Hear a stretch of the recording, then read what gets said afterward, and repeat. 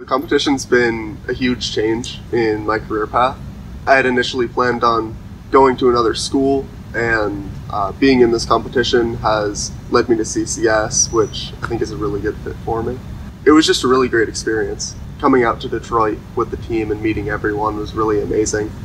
And uh, actually seeing this, you know, sketching that I had been doing could turn into a career. Drive for Design was a huge advantage because it's not only about your having the skills to do the job, but making the connections and knowing people is just as important, I think, as as having what it takes to do the job. So I think without meeting Mark and meeting the people who appreciated what I was doing, maybe I wouldn't have been here. The most important thing that the Drive for Design contest did was to to show me that this is what I really want to do for a living.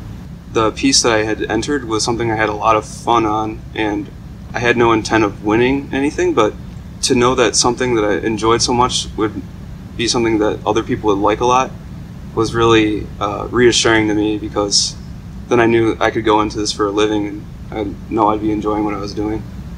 I'd absolutely encourage students to enter the competition. Uh, you never know if you might win or what experiences you might get from it. I know students who didn't win the competition and afterwards looked at it as a learning experience and saw the entries that won and decided to take that and improve on their own sketching.